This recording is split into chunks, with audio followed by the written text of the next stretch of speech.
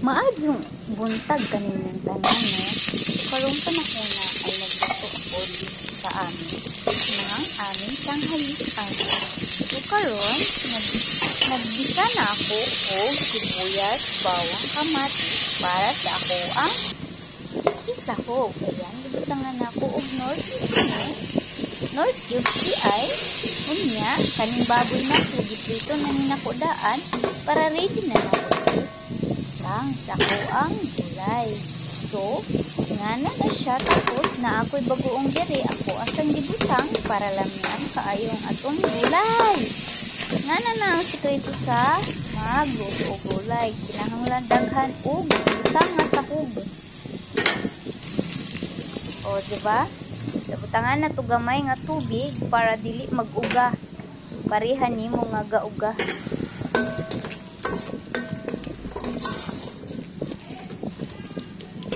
O, diba? Itsura pa lang. Ulam na.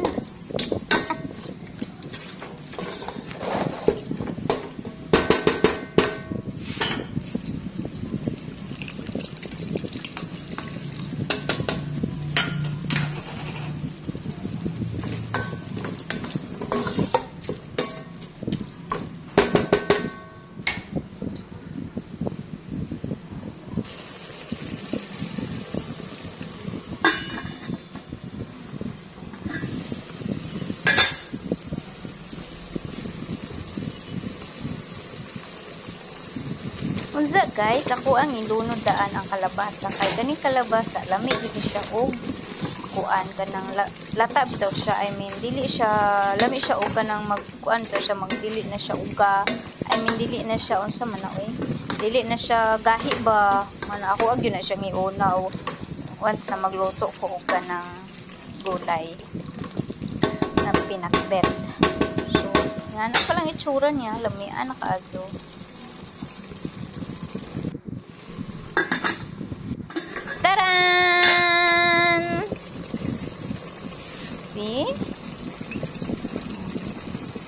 Butangan ako og gamay nga tuyo para pangkalasa. Para dili tabang, guys. Kinahanglan lang gajud ng nay tuyo. Uy, kay dili gajud na makumpleto ng atong niluto og white tuyo. So, don't forget. And then, imuhag yun na siyang i-mix para maghalo yun ang ilahang panlasa ba. Gabutangan ako gamay nga suka. Pero kanang bagoong guys, nana na siya suka. Pero ganahan po ko nga butangan pag yun siya kay para dili maglangsi ang baboy. Mo na sikreto pang bawa sa langsi. So yan na siya oh. Diba?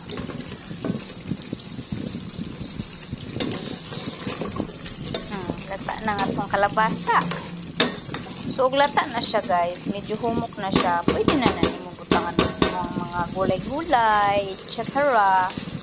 Kay, ang dili man sa kinahanglan og lata na lata gyud og imong ibutang na siyang mga gulay kay mal, malu, magluto pa ba sa gulay. So, dapat sakto-sakto ra na mo nang ibutang ang mga gulay ug lata ng kalabasa.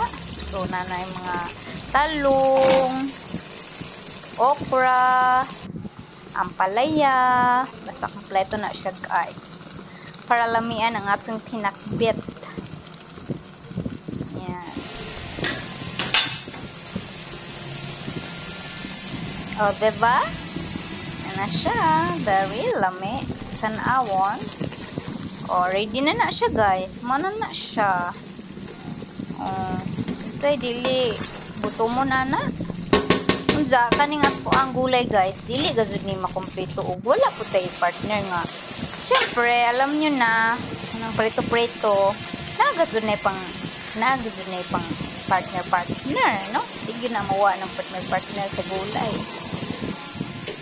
diba ready na na ato ang gulay so mag-proceed na sa ta sa ato ang iluto nga pang partner aning atong gulay guys kay lami ba jud ka pag na ay partner ang gulay. So, mga prito-prito, prito-prito. So, ang prito karon is bangos. Then, guys, kani magbangos na ako ang giluto is gimarinate na ni siya na ko daan or na ko iluto. So, uh, Man ako vlog ko. tangalan na ako bawang and then uh, yung mga pangpasarap food. Ano lang yan, gagawin na nga itong kaon ba? Perfect ba itong kaon? Mapusok tag naman. Ano na, well guys, nga nagagat ang pagkikrito.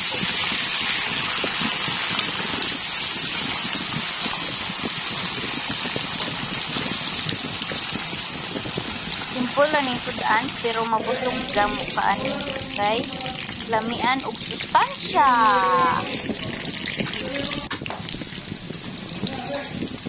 O, diba? So, ready na nga to ang bangos, guys. Ano pang inaantay natin? Ato nang iwalihin sa to ang plato. Kay, para mga unata kay gutom na. O, kinsa may way pa ni Uto di hatara. Mga unata, gulay with Prito, bangos.